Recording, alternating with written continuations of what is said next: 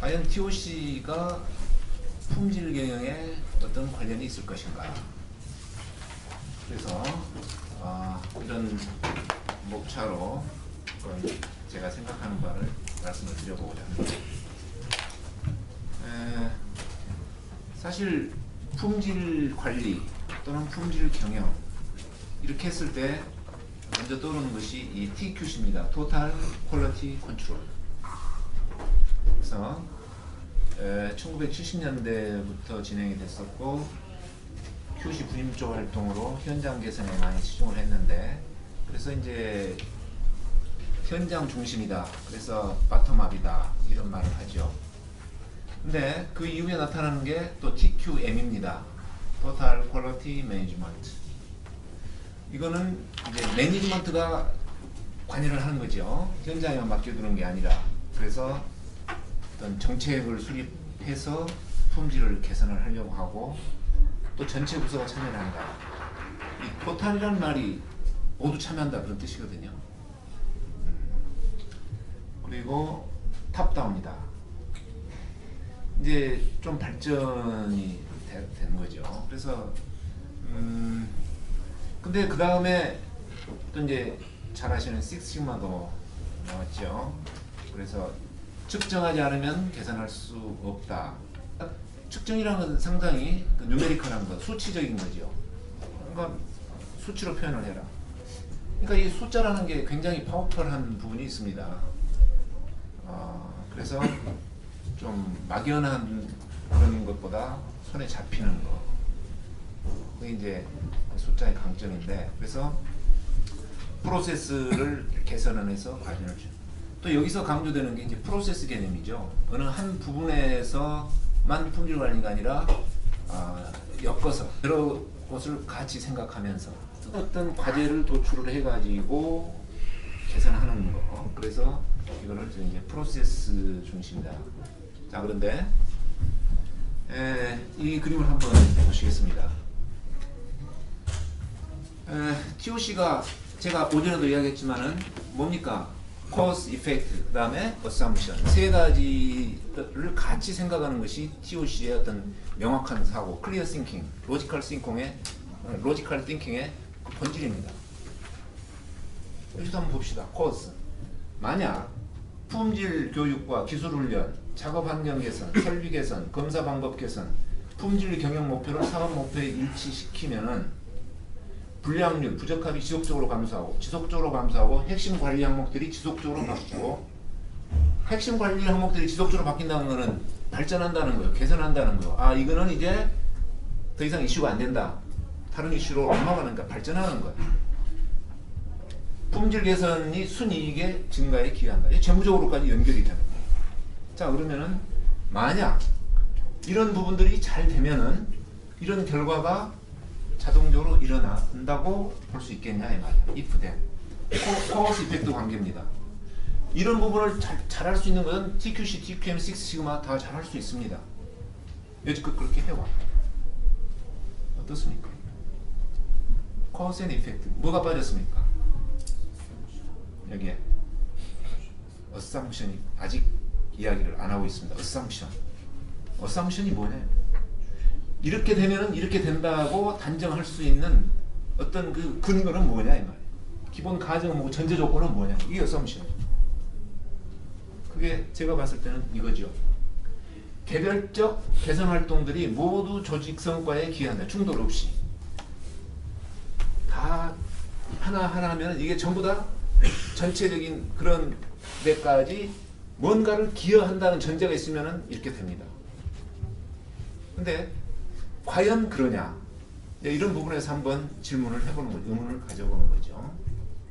근데 이 자료는 제가 만든 자료가 아니라 일본에서 어, 발표한 자료입니다. 2014년도 작년에 국제 TOC 컨퍼런스에서 발표를 한 거예요.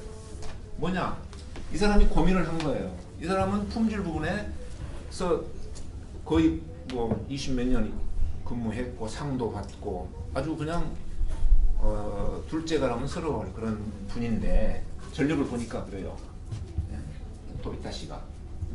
근데 지금까지 이렇게 해 왔는데 겜바 가이젠 현장 개선이란 뜻이에요. 그래서 해 왔는데 TQC에서 의해서 품질이 개선이 되어 왔습니다. 근데 지금까지 꾸준히 해 왔는데 이렇게 꾸준한 개선의 노력에도 불구하고 더 이상 인프루브가 되는 것을 볼 수가 없다고 말이에요. 물론 조금은 증가하겠지만 너무 답답한 거예요. 노력 대비 성과가 크지 않으니까. 어떻게 하면 이렇게 브레이크스루로 가고 싶은데 그래도 이렇게 뭔가를 좀 이렇게 가야 되는데 이 사람이 매팔리는 거 아닙니까? 일본이 지금 그런 상태에 있었어요. 이, 이 사람이 겪기에. 고민, 아직도 고민이죠. 그래서 이런 breakthrough를 어떻게 예, 할 거냐. breakthrough가 뭡니까? 깨고 나간다는 거 아니에요? 돌파한다는 거죠. 예, 어떻게 돌파를 해야 되냐 이 말이야. 과연 TQM을 total quality management 또는 Six Sigma를 계속 잘 하면은 이렇게 갈 수 있겠느냐 이런 어떤 고민에 빠져 있는데 에, 이제 TOC 컨퍼런스에서 와서 봤으니까 발표를 했으니까 뭔가 TOC가 그런 역할을 뭐 했지 않겠냐. 이렇게 짐작은 할 수 있겠죠 이 자료가. 그러면은 과연 TOC가 이런 브레이크스루를 만들어낼 수 있겠냐 이 근데 요거는 제가 오늘 지금 발표드릴 요약입니다. 제가 생각하고 있는 TOC의 어떤 능력, 기능, 역할. 저는 이 세 가지 포인트에서 그런 브레이크스루를 만들어낼 수 있다고 본다. 첫 번째가 개선의 우선순위를 결정합니다. 제가 아침부터 priority란 말을 굉장히 많이 하죠. 오케이. priority. 두 번째, 어떤 흐름 개선, improving. 그러니까 여기는 좀 어떤 물리적인 flow를 중심으로 이야기를 하겠습니다. 어, 품질이 약간 물리적인 부분에 있다고 했을 때 예, 물리적인 어떤 logistic 현장에 어떤 재고가 줄고 아, 납기가 단축이 되고 뭐 이런 것들 거기에 품질 개선에 아주 기여를 할 것이다. 세 번째 정성적 품질 요인 개선이 qualitative한 거. 정성적이라는 게 뭡니까? 숫자로 표현 안 되는 거예요. 그러면 6 시그마는 뭐예요? 측정할 수 없으면 계산할 수 없다는 거 아니에요? define. 근데 여러분 측정할 수 없는 품질 요인들이 많이 있지 않겠습니까? 여기 뭐 의사분도 계시겠지만 환자의 상태를 측정해야만 할 수 있습니까? 측정할 수 없는 그런 증상들도 많이 있지 않겠어요? 수치로 나타낼 수 없는 것들. 오케이. 사실은 그게 더 큰 문제일 수가 있는. 수치로 나타나면 사실은 거의 다 잡은 겁니다. POC 베이스트 QM을 목표를 이렇게 잡습니다. 품질 관리를 잘해서 뭘 하자는 거냐? 고객 요구에 신속히 대응하고 생산성을 향상을 시켜서 수익성 향상으로까지 연결을 시키고 또 제품 개발에도 협력을 하고 또 품질 문제가 재발이 방지되는 것을 TOC가 한번 목표로 삼아서 해보겠다. 여러분 goal setting을 잘해야 된다고 그랬잖아요. 제가 아침에. 그죠? 예. goal setting을 이렇게 해보자. TOC의 quality management를 goal setting을 이렇게 해보고 구체적인 방법으로는 뭐 흐름 개선도 있고 priority 문제도 있고 등등. 사실 요 부분은 이제 thinking process가 아, 적용이 되는 겁니다. 첫 번째, 내가 sub system이라고 했는데 개선의 우선순위를 결정하는 뭡니까? 에, 이거는 제가 저희가 우리 그 KTA 전문가 과정에서 교육하는 강, 자료 중에 하나입니다. 보십시다. 간단해요. 설비 ABC를 거쳐서 가는데 능- 능력이 시간당 100개, 80개, 120개인데 효율이 75%, 80%, 70%뭐 가동률이라고 봐도 되겠습니다. 그래서 가공 능력이 100 곱하기 75니까 75개. 여기는 88에 64. 여기서 84. 자, 여기서 개선을 한다고 했을 때이 순서 정하는 거예요. 어디를 먼저 개선하는 것이 가장 효과가 크겠습니까? 이 질문이야. 답을 가르쳐 드릴게요. 간단해. 여기가 병목이야. 제일 캐파가 적으니까. 그래서 이거를 현재 80%를 85% 올리면은 가장 여기가 68개가 되는데 결국 산출은 여기에서 결정이 되니까 이 68개가 가장 큰 거예요. 좋은 거예요. 그래서 병목을 기준으로 품질 어떤 어, 가동률을 개선하면은 이 생산량이 제일 늘어나요.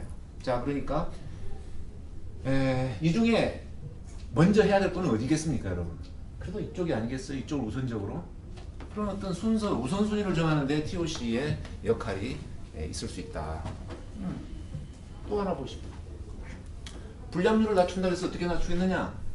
자, 여기에 에, 가공 능력이 20개인데 불량률이 5%고 시간당 15개인데 또 불량률이 5%고 시간당 25개인데 불량률이 5%예요. 그래서 제품은 하나인데 생산된 것은 모두가 판매가 됩니다. 월 160시간 생산을 해요. 그래서 여기서 최대로 생산할 수 있는 것은 여기도 보아하니 병목 공정이 이쪽이에요. 15개 제일 적게 만드는데 불량률은 같으니까. 그랬을 때 이거를 다 만든다고 해도 시간당 불량률 없이 만든다고 해도 15개 160시간 2,400개를 만들 수 있어. 여기서 최대로 만들 수 있는 게 2,400개.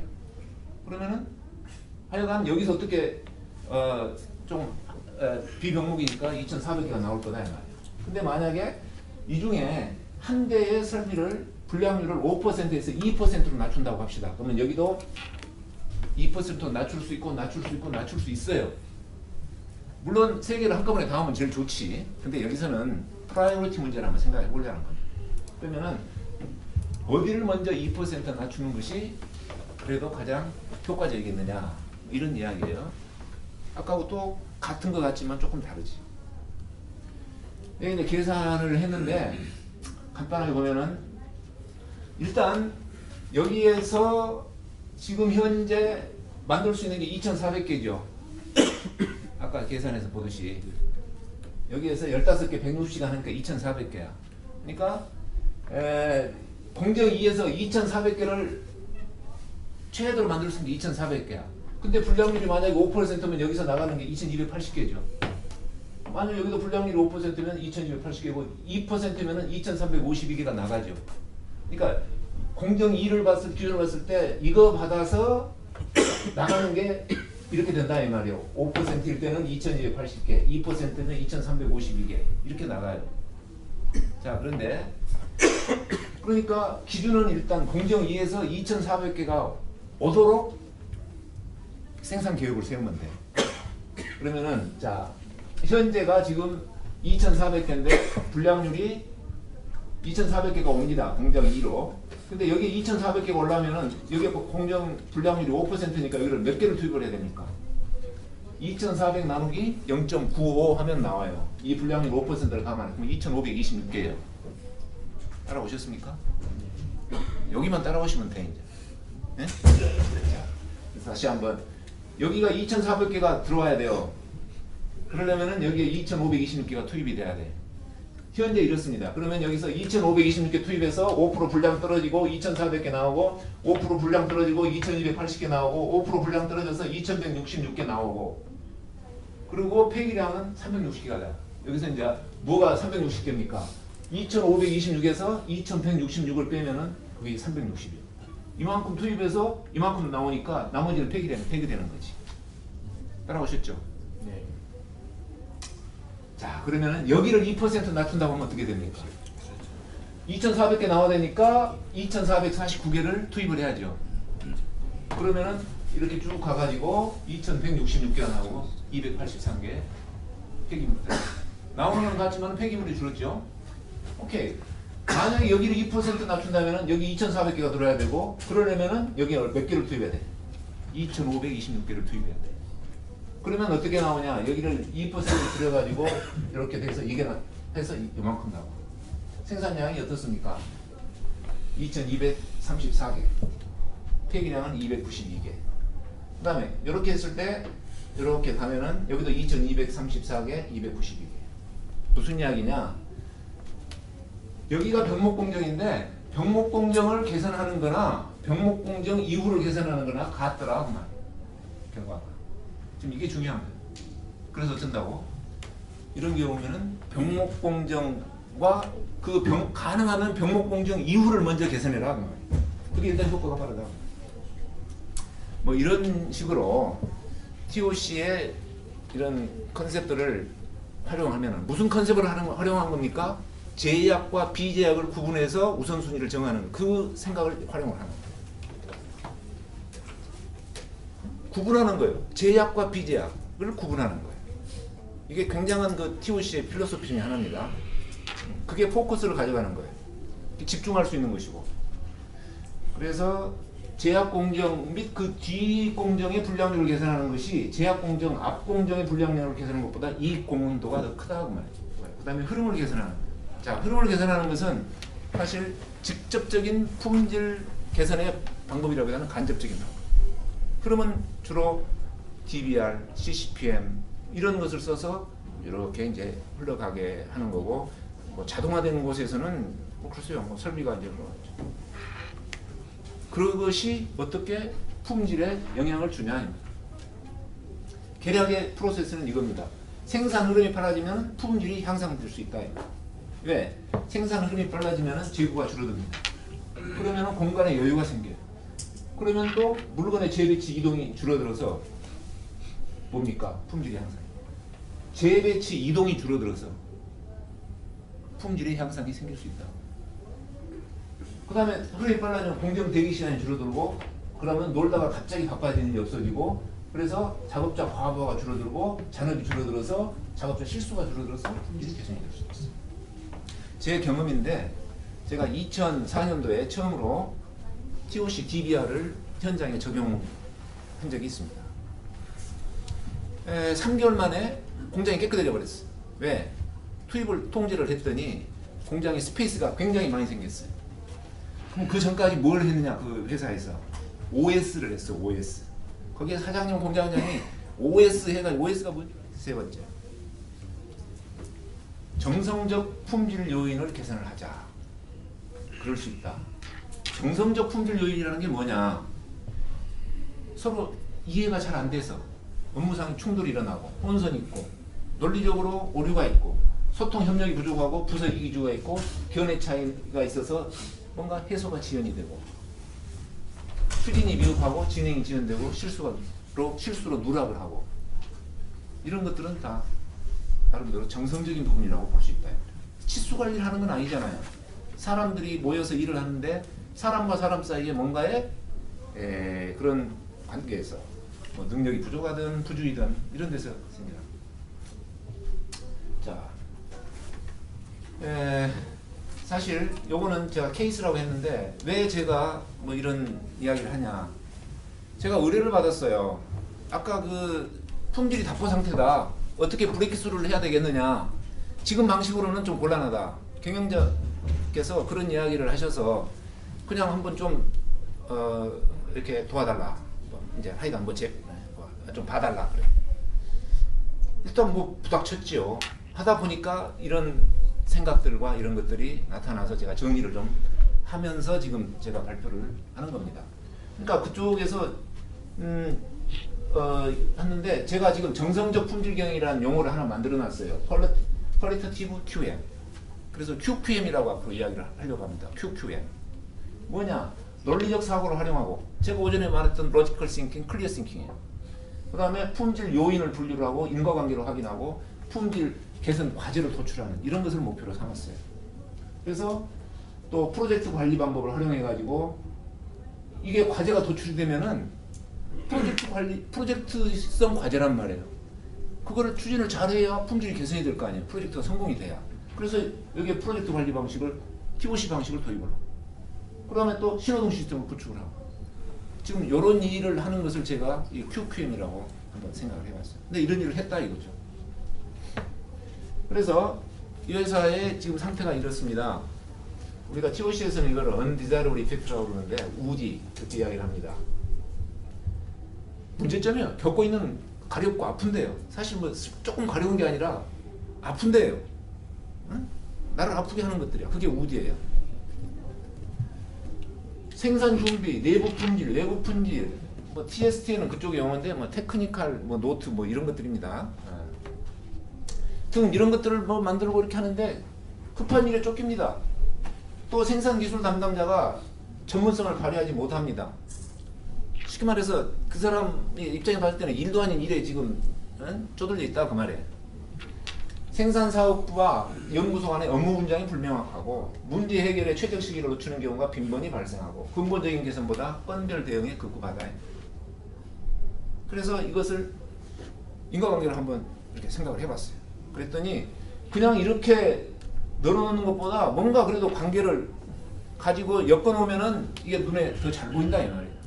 이게 logical thinking이고 clear thinking을 하기 위한 하나의 어떤 출발이라고 할 수 있죠. 그래서 생산사업부와 연구소 간의 업무 분장이 불분명하고 하니까 생산기술 담당자가 전문성을 발휘하지 못하고 또 근본적인 개선보다는 건별 대응에 급급하니까 전문성을 발휘하지 못하고 또 어떤 일에 쫓기고 그러다 보니까 문제 해결의 최적 시기를 놓치고 있다. 계략적으로 계략적으로 이렇게 한번 생각을 해볼 수 있는데 여기도 그냥 보지 말고 어사무션을 한번 보자 이 말이에요. 왜 그렇게 되냐 이 말이에요.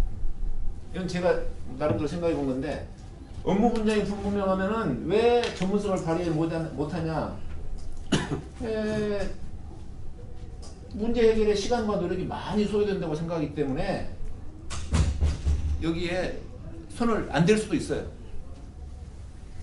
아, 전문성을 발휘하려면 시간이 많이 소요되고 그런데 나한테는 그런 어, 뭔가 분장 내가 확실하게 맞는 그런 것도 없고 그래서 손을 안 댈 수도 있어요. 또 근본적인 개선보다 건별되는 시험은 왜 이런 급한 일을 쫓게 되냐? 유사한 문제가 반복 발생하기 때문에 이렇게 되죠. 또 그러면은 왜 이렇게 되면 최적 시기를 놓치냐? 각자 열심히 뛰어다니는 것만으로는 한계가 있기 때문에 이 시기를 놓칠 수도 있고. 자, 이제 이렇게 놓고 봤을 때 대략적으로 지금 어떤 그 문제 구조가 개략적으로는 어떻겠다 이런 이제 그 생각은 좀 들지요. 근데 그러면 이걸 어떻게 접근해야 될까? 가야 될 거냐? 자, 이거는 사례 이야기입니다. 이렇게 접근해 갔다 그 이야기예요. 예. 에, 여러분 어떻게 하시겠습니까? 여러분 상황이 이렇습니다. 그러면은 이 근본 문제, 근본적인 개선, 또 업무 분장을 확실하게 하고 그렇게 해서 여러 이렇게 해서 없애겠다. 사실 정석은 그거죠. 정석은 근본부터 찾아야. 근데 사실 그거는 연구소나 학교에서 하는 일이고 회사는 그런 부분을 좀 싫어해. 그래서 뭔가 조금 예, 가시적인 것도 좀 보고 싶어하고 또 사실은 그래야 뭔가 다음 추진할 수 있는 어떤 에너지도 없고 그런 부분이 있어요. 그래서 어, 이렇게 한번 해봤습니다. 맨 먼저 신호등 시스템을 뭐냐? 현재 업무를 세 가지로 구분했어요. 일상적인 업무, 이벤트 업무, 프로젝트. 그래가지고 이것을 이벤트와 프로젝트를 등록해가지고 진행 상태를 모니터링하게 하고 이런 부분들을 신호등을 운영을 했어. 그래서 신호등에서 실행 우선순위를 보여. 이게 뭐냐? 솔직히 그 부서 안에서도 무슨 일이 어떻게 벌어지고 있는지 자기들도 잘 모르더라고. 그래서 바쁘다 바빠. 나름대로 이거예요. 그래서 조금은 그렇지만 하고 있는 일 등록부터 해라 그랬어. 그게 이거예요. 등록을 할 때 그냥 다 똑같이 등록하지 말고 세 가지로 나눠서 등록을 해라 그랬어. 일상 업무는 그냥 보고 안 하고 니들이 스스로 알아서 하면 되는 일이고 이벤트는 조금은 보고는 해야 되는데 혼자 그래도 뛰어다니면서 시간 걸려서 하고 프로젝트는 협업을 해가지고 뭔가 시간도 걸리고 필요하면 비용도 타내고 뭐 그럴 일들이다. 그걸 구분하는 어떤 큰 건 법칙 같은 건 없죠. 상식으로 그냥. 자기한테 유리하게. 내가 이걸 이벤트로 등록하면은 나한테 유리할 거냐? 프로젝트로 등록하면 유리할 거냐? 나는 그랬어요. 철저하게 그 직원들 유리한 방향으로 등록을 해라 그랬어요 매니저 보는데 앞에서 매니저가 싫어할까요?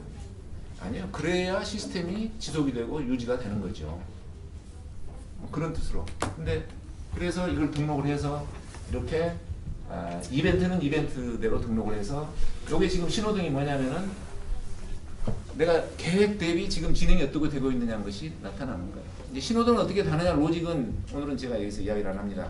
작년에 내가 했으니까. 네. 또 프로젝트 신호등은 또 나름대로 이렇게 달라요. 그래서 색깔로 표시를 해놨어. 이렇게. 그래서 근데 그 프로젝트는 사실 여기 보면은 이 간트 차트 같은 게 나옵니다. 간트 차트. 이게 그 포트 네트워크예요. 프로젝트 프로젝트니까 이거 이거. 근데 예를 들어서 배를 만든다 그러면은 그 배가 물론 배마다 다 다르지만은 그래도 구분은 아까 그 제가 보여드렸던 것처럼 뭐 설계부터 도장 뭐 이런 어떤 구분은 그런 대로 돼요. 근데 이 조그만한 일에 등록되는 프로젝트는 프로젝트마다 모양이 다 달라. 그걸 어떻게 등록하냐? 그러나 아무튼 방법을 찾아내서 등록하게 했어요. 아무튼 등록을 해야 돼. 큰 부담 없이 등록을 시켜야 돼. 등록 방법은 에, 그 노하우에 나름대로. 에. 자, 그래서 신호등 시스템을 구축을 해서 이렇게 했더니 챙겨가지고 진행 상태를 모니터링 했더니 뭐가 그래도 개선이 됩니까? 뭐 급한 일에 쫓기고 뭐 일을 놓치는 것은 조금 방지가 되지 않겠어요? 오케이. 그것도 굉장히 큰 거예요. 그럼 이것만 가지고 되냐? 아, necessary해. 필요하지만 but not sufficient.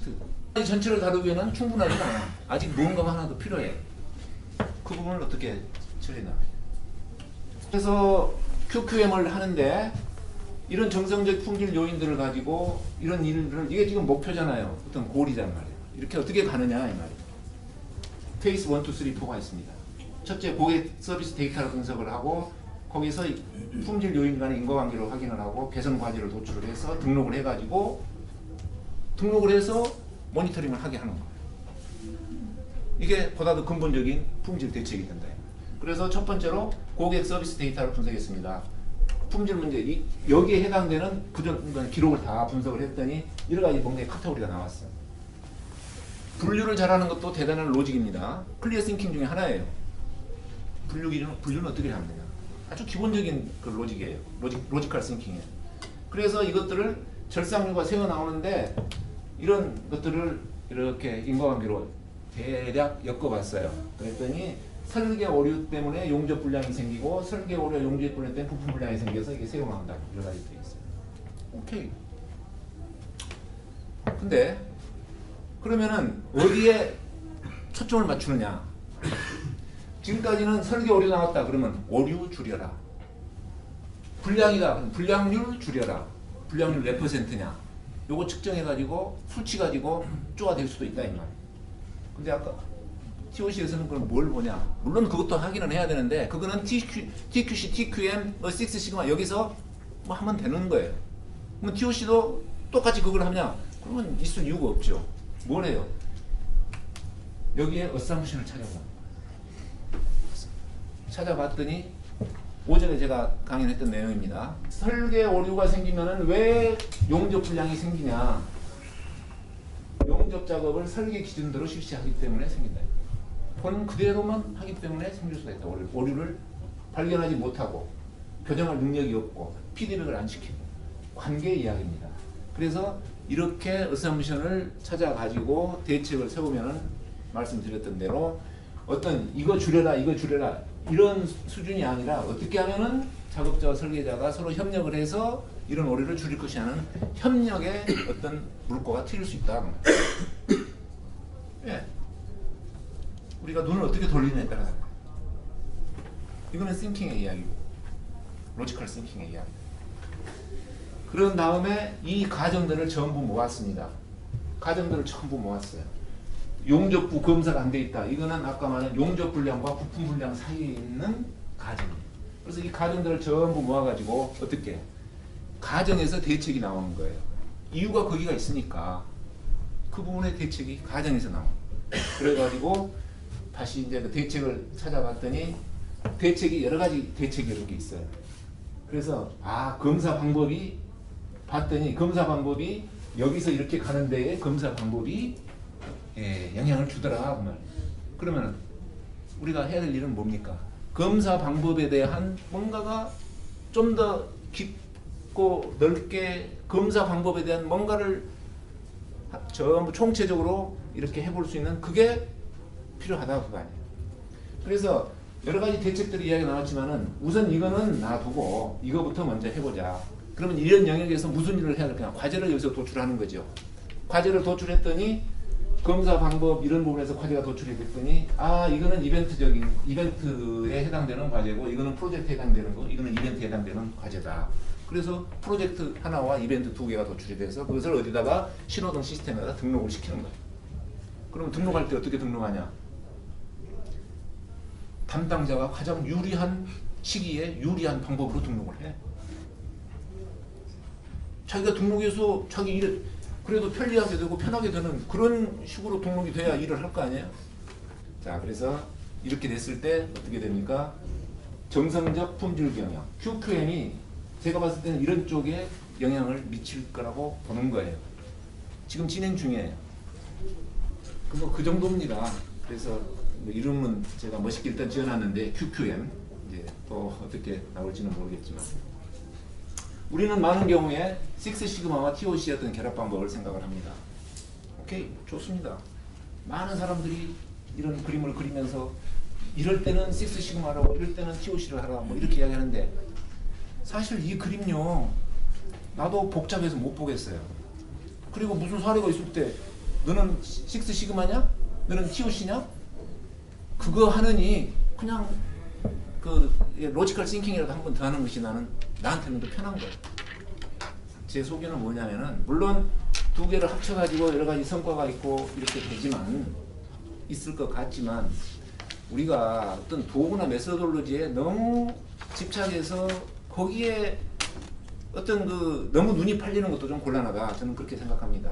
제가 굳이 이 이야기를 이렇게 해놓은 것은 제가 2004년도에 발표 자료도 번역도 하고 여러 가지를 했었는데 도대체 이 부분을 어떻게 처리를 할 거냐 품질과 TOC 또는 식스 시마와 TOC 이거를 어떻게 설정을 하고 이야기할 거냐 이 말이에요. 저는 TOC라는 사람이에요. 그러면은 TOC 입장에서 품질을 어떻게 접근할 거냐가 사실은 저는 관심사였어요. 이걸 합쳐서 어떻게 한다. 답이 되는 것 같기도 하는데 아 불편해요. 불편해. 그런데 여러 가지로 많은 사람들이 이야기 TOC, TP를 어떻게 적용하고 어떻게 한다 그러는데 에, 뭐 저도 뭐 이런 거는 뭐 이런 다이어그램이 있고 이런 것은 알고 다른 데서 많이 쓰고 있습니다만은 너무 이거를 저는 격식화시키고 이렇게 하는 것이 부담스러워요. 내 스스로도 부담스러워요. 내가 부담스러운데 내가 TOC를 보고받는 사람이 어? 어디 가서 그러면은 이때는 이거 쓰고 저 때는 저거 쓰세요. 이 표를 만들어 들어 가지고 뭔 그런 FM으로 해서 뭘 그것을 내가 강조를 하- 할 수가 없다 이 말이야.